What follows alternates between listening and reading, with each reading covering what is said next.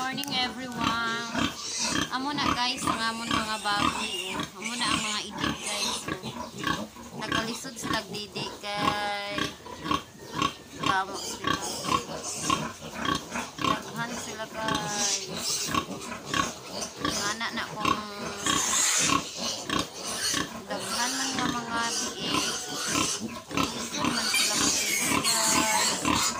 Inagaway sila sa ilang ah, hindi nasakot ang iba.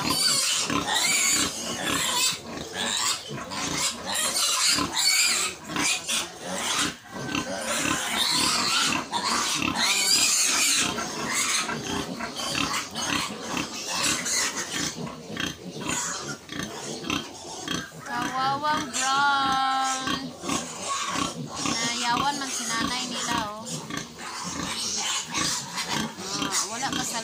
Iba. Na sila kasalot. Pero salamat na lang sa ginoo guys. Ay okay. Ako man sila tanan. Nagkakaon naman sila guys. Hindi naman sila problema din. Eh, nagkakaon. Na wala kasalot ang isa.